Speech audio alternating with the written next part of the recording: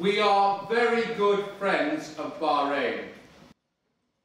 حوار ثقافي يجمع بين الأديان والحضارات في احتفالية الجالية اليهودية البحرينية في لندن بمناسبة يوم التسامح العالمي ومرور 200 عام على العلاقات البحرينية البريطانية الاحتفالية جاءت برعاية كونور بيرنز رئيس المجموعة البحرينية بالبرلمان البريطاني ونائبه بوب ستيوارت ومشاركة سفارة مملكة البحرين لدى بريطانيا التي رحبت بالاحتفال لتعزيز مبدأ التسامح في المجتمع البحريني.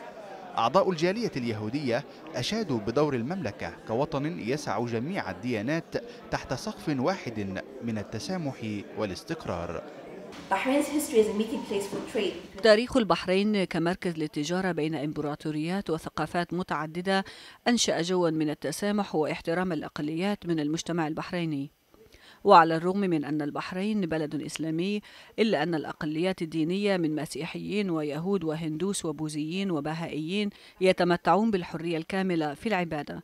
وبجانب المساجد تضم البحرين 19 كنيسة مسجلة إلى جانب كنيس يهودي ومعابد للهندوس ودور العبادة الأخرى. شارك اليهود في الحياة السياسية لتمثيل البحرين دبلوماسيا وسياسيا بين مختلف الديانات والعمل على تشريع القوانين والانفتاح السياسي داخليا وخارجيا ملتزمين بقوانين المملكة وتقاليدها بالحفاظ على العقائد الدينية. البحرين مملكة كبيرة مع قلب وسيع. يعني ترحب بجميع الطوائف الدينية الموجودة المسيحيين مع المسلمين مع اليهود مع الهندوس البهائيين والسيك. فهاي الشيء فعلا نشكر الله عليها هاي نعمة كبيرة.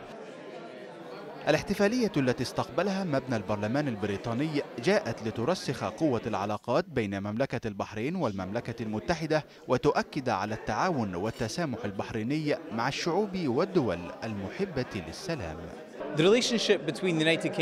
العلاقة بين مملكة البحرين والمملكة المتحدة قوية جدا فهي شراكة حقيقية بين بلدين صديقين وتعمل من أجل السلام والاستقرار ليس فقط في البحرين بل في الشرق الأوسط بأكمله.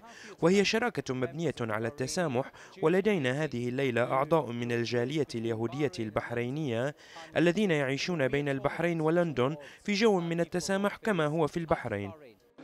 أما العوائل اليهودية الأولى فجاءت من العراق إلى البحرين منذ عام 1880 واستقروا فيها بحثا عن حياة أفضل.